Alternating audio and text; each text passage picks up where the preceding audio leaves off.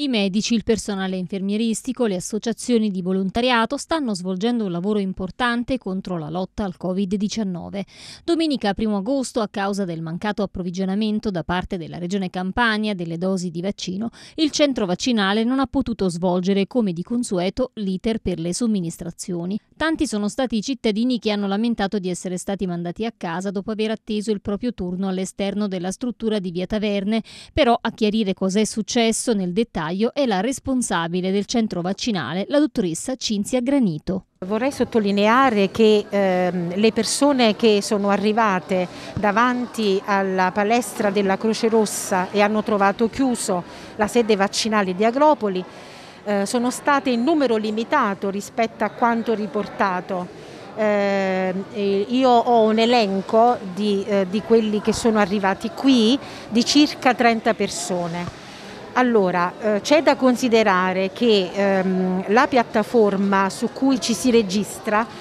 chiede non a caso sempre un numero di cellulare ed una mail e un indirizzo mail, proprio perché sono necessari questi contatti per eventuali comunicazioni, aggiornamenti ed eventuali spostamenti, perché il percorso vaccinale può subire dei rallentamenti in base all'approvvigionamento dei vaccini. Pertanto è capitato che eh, abbiamo constatato che alcune persone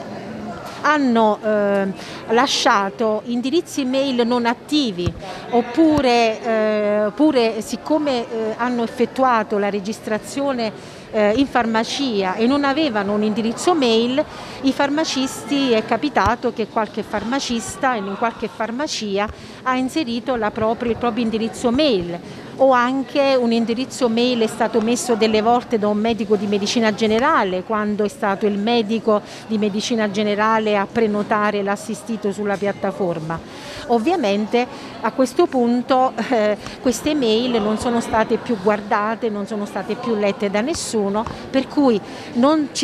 non c'è stata la possibilità di controllare un eventuale spostamento eh, della propria seduta vaccinale di richiamo. In ogni caso noi abbiamo, eh, abbiamo comunque provveduto ad, mh, a riconvocare tutte le persone eh, che erano state eh, spostate e che, non, eh, e che, si sono presentate eh, non conoscendo lo spostamento. Il centro città di Agropoli, grazie all'intervento dell'amministrazione comunale retta dal sindaco Adamo Coppola, oggi gode di ambienti refrigerati all'esterno durante il percorso che precede l'entrata nelle scorse settimane. L'ente comunale ha installato dei gazebo per dare la possibilità ai cittadini in fila di avere un posto all'ombra viste le alte temperature. Io mm, voglio sottolineare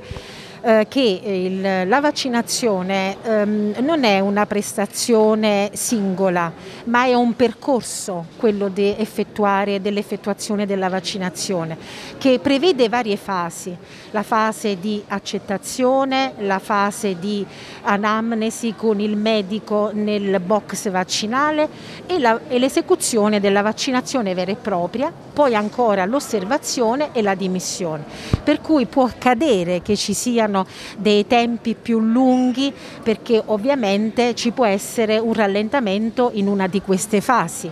però bisogna sempre cogliere il beneficio di eh, effettuare eh, una vaccinazione così importante in un periodo così critico della nostra vita. Per quanto riguarda i ringraziamenti, io eh, devo ringraziare innanzitutto il, eh, il, sindaco di Agropoli, il comune, che ha consentito di eh,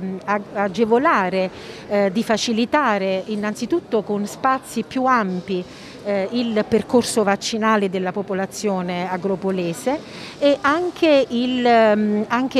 mm, l'importanza del microclima, del benessere eh, sia delle, dell'equipe eh, che partecipa, che effettua le vaccinazioni, sia degli utenti che arrivano qua eh, e che devono essere vaccinati. Eh, sono stati infatti eh, allestiti eh, dei condizionatori che consentono di stare freschi di, di un, questo benessere durante l'esecuzione della vaccinazione. E poi ancora devo ringraziare la Croce Rossa eh, che eh, ci ha seguito eh, e che ci, ci, dà una grande mano alla, nel, nel, nel, nel, contenere le, le fila delle, degli utenti nelle, nelle varie fasi del percorso vaccinale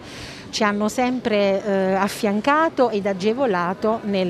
nell'esecuzione. La protezione civile che spesso ha affiancato eh, la Croce Rossa in, questa, in, questo percorso e ancora anche i, eh, i, Boy Scout che spesso ho visto la domenica eh, venire ed aiutarci e accompagnare i disabili e affiancare le persone più fragili. Poi ancora, eh,